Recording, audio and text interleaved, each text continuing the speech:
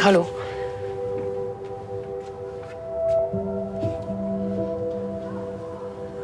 Ja.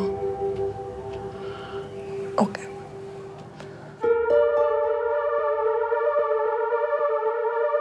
Det må være forferdelig å miste sine egne unger. Nei, vi sto liksom bare og prata. Altså.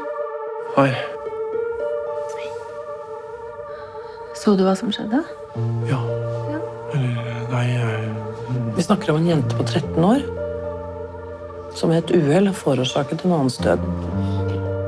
Hva er det som skjer nå, liksom? Nei, jeg vet ikke. Var det ikke veldig ekkelt at du bare klipper neglene Jeg skal ta det bort.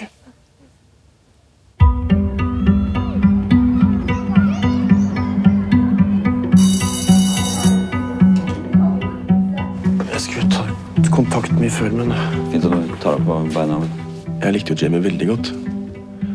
Hallo. Er du her?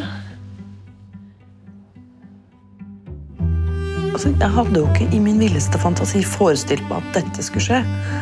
Hva da? At en elev skulle dø? Eller at du skulle forelske deg i en Frp-er?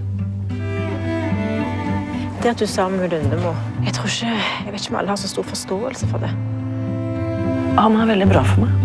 Jeg sa det, jeg var bra nå.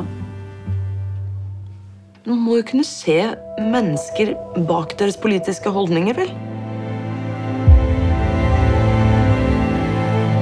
Det er bare at uh, elevene de ordner opp, de skværer opp og de glemmer, men foreldrene de glemmer jo aldri. Det har ikke noe for jeg vil at de skal få si det.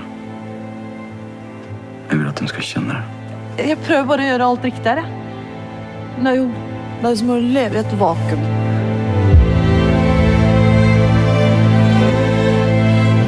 Jeg klarer ikke å få det ut av huet.